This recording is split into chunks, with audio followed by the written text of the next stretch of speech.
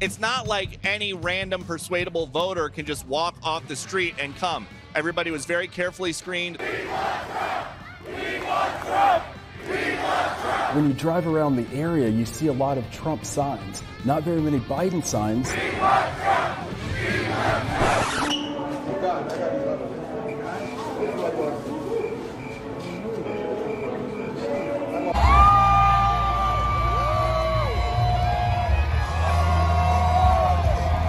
They never found the body because there used to be there were a lot of cannibals for real in that part of New Guinea. I was in one of those 8 by 10 bathrooms, you know they have. I got a towel on me and shaving cream. We will make America powerful again. And we will make America great again. I made it clear to Israelis don't move on Haifa.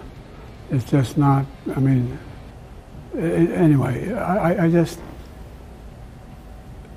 I will prevent World War III. Are you ready to choose freedom over democracy? Because that's America. Yes. People of Pennsylvania are going to tell Crooked Joe, you're fired. Get out. You're fired.